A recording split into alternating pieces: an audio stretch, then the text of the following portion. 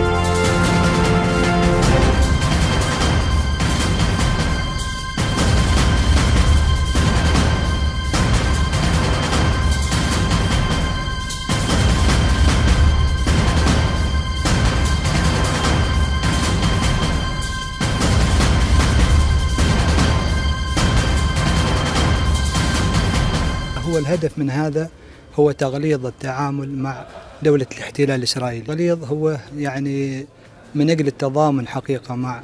يعني الحقوق الفلسطينية لإنشاء دولة مستقلة ذات سيادة